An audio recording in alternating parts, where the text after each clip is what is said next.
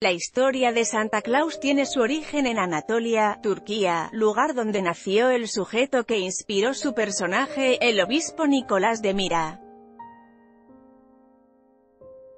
Nicolás de Mira fue un sacerdote que dejó huella gracias a su nobleza y sencillez misma que lo orilló a compartir sus bienes con la población humilde. Realizó diversas obras de caridad, la más importante de ellas fue cuando entró a la casa de un par de mujeres para dejarles una bolsa de monedas de oro, así fue como comenzó el mito del hombre de vestimenta roja, a quien años después lo canonizaron.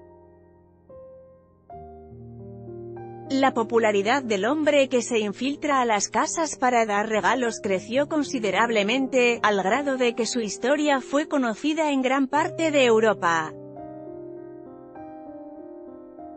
Su llegada al continente americano fue en 1624 y se debió gracias a que inmigrantes holandeses la introdujeron en territorio estadounidense.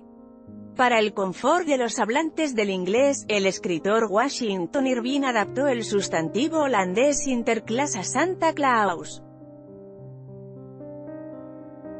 El personaje de Santa Claus se completó gracias a un relato del poeta Clement Clark Moore, quien lo describió como un sujeto de estatura baja que reparte regalos a los niños acompañado de sus renos. En 1836 Thomas Nast lo dibujó gordo en publicaciones del Harper's Weekly.